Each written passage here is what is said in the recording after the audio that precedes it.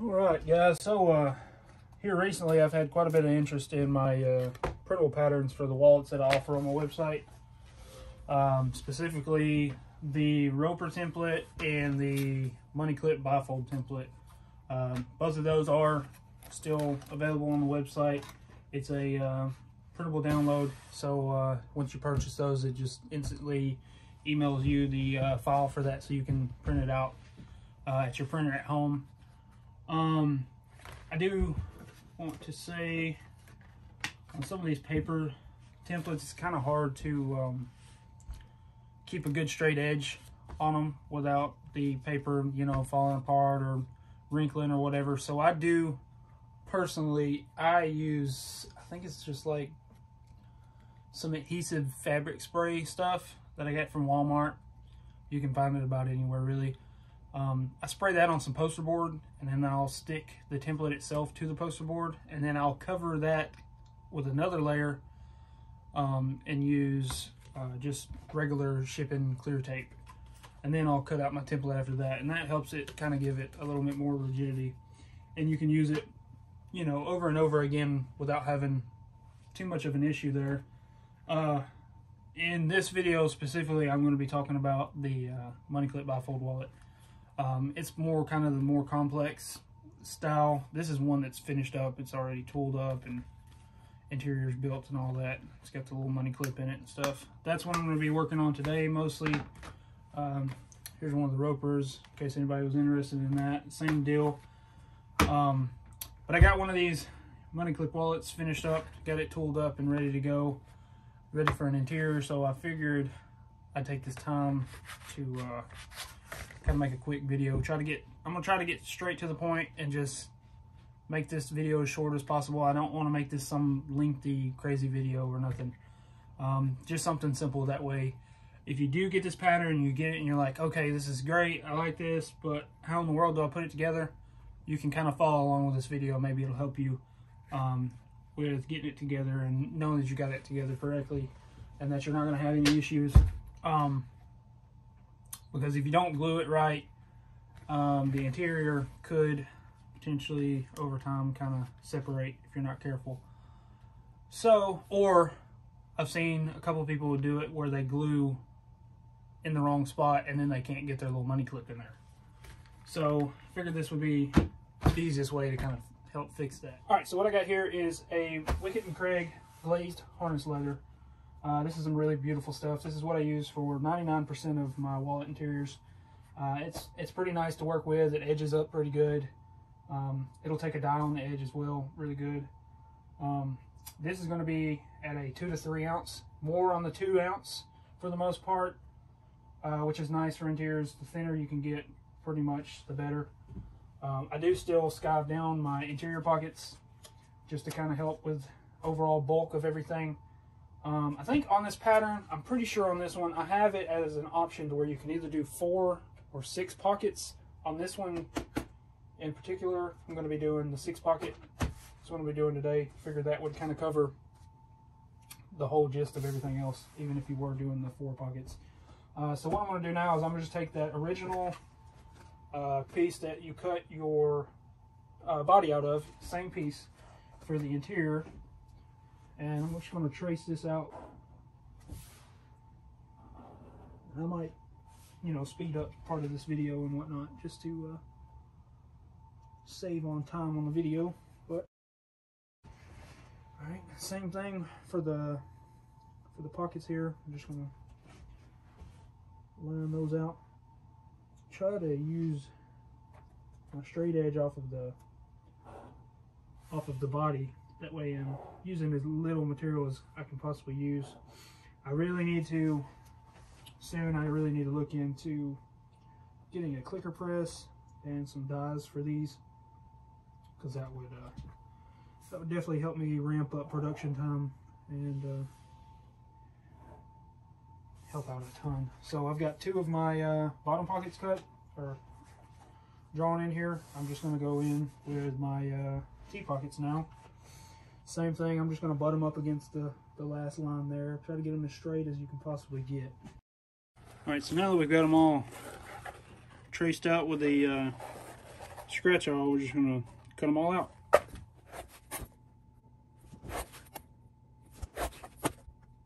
We got our pieces cut out, all our pockets and our body and everything. I'm gonna go ahead and punch that hole out for my money clip. And then I'm gonna get to uh, beveling these edges and going ahead and getting the pockets, the top of the pockets slicked up and all that good stuff.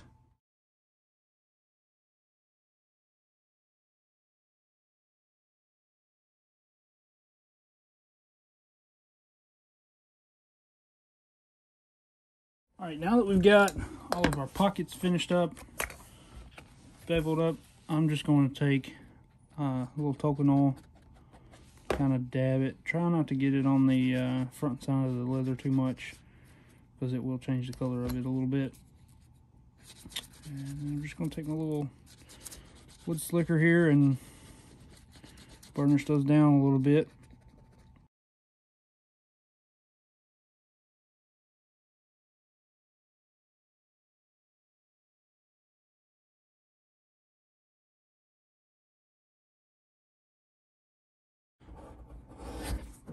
Just start at the top work my way down to the bottom.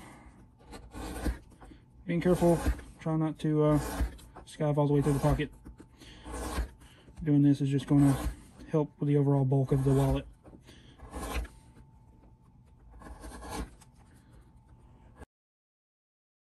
Alright, now that we got all our pockets skived down, cut out and all that good stuff, it's time to start kind of mapping out how our interior is going to lay out so first thing I do, kind of set that there. Um, I use this double-sided stick tape for the bottom of my pockets here.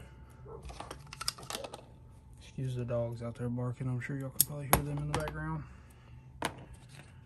They're not so happy about a tractor driving by. So what I do here, I just kind of lay this out where it's going to bleed hold that down. Come in here. The pocket's going to sit.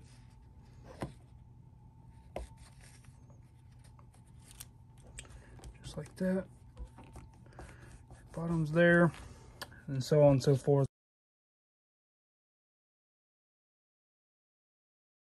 So now we've got all our pockets uh, the bottom of the pockets taped in. Um, just brought it over here to the sewing machine real fast. I'm going to show you really quick stitch across the bottom of these to kind of help hold them in place over time.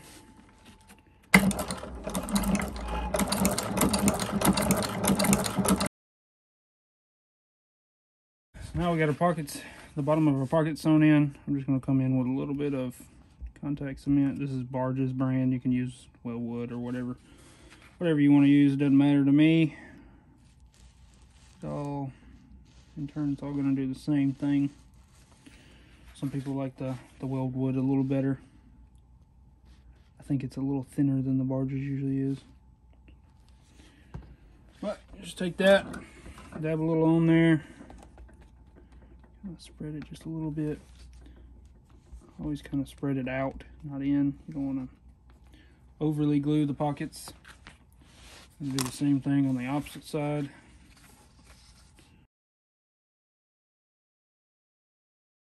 Now on this side, it's kind of hard to get glue in this side without making a big, huge mess. So I do just uh, run some double-sided tape on the middle.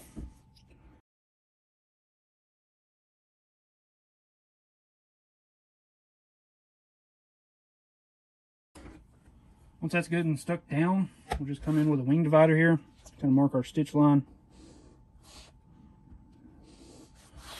On each side of that here you do have to sew this before you sew the uh, interior to the exterior so remember that. Don't forget this part because if you go ahead and glue it on and all that stuff you won't be able to get to this to sew this on. All sewn up. Everything's ready for glue. So I've got my body here and I've kind of got it marked out where my uh, little hallway here will be for your uh, money clip. Take a little bit of this glue here. Spread a nice little even coat Try not to get on the inside.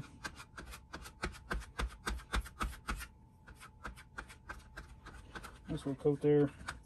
Uh, I do put a little bit kind of at the bottom there.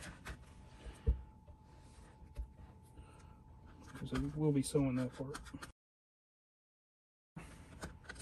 Put a little, little bitty spot right there at the top too. That's going to have the body. Not to move your fingers. And same for your interior. We've got two coats of glue on here. As you can see, they're both good and tacky. So we're gonna go ahead and throw this on here. Try to get it as straight as you can.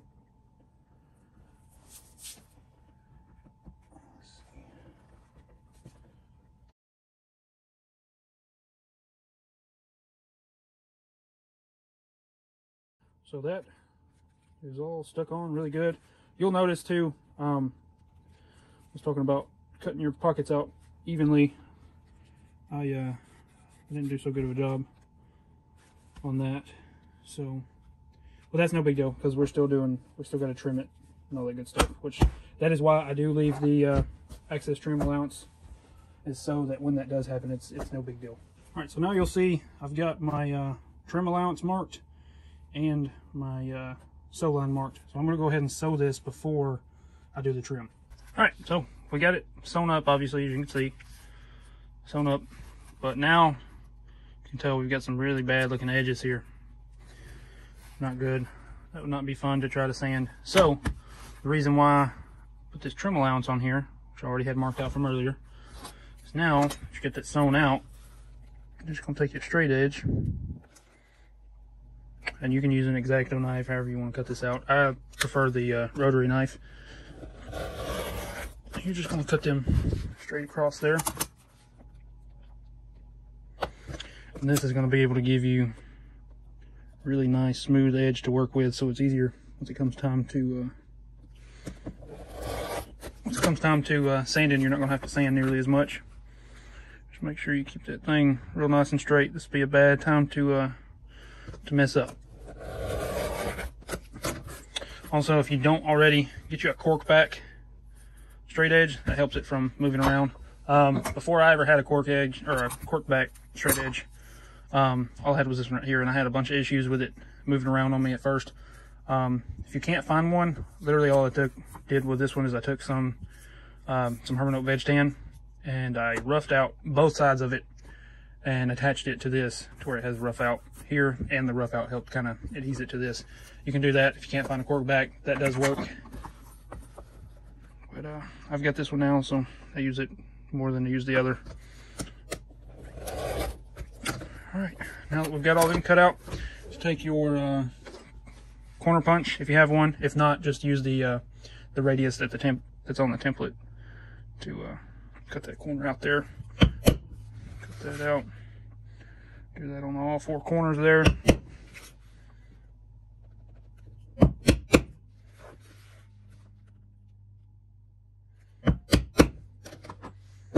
of nick that one a little bit.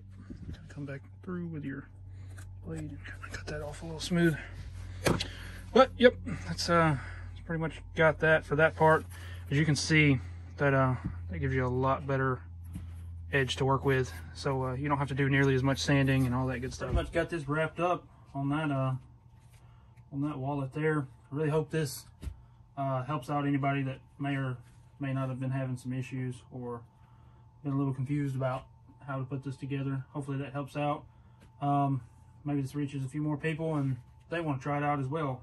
Uh, either way, win-win. So it's pretty cool with me. Um, there's that finished product on that one.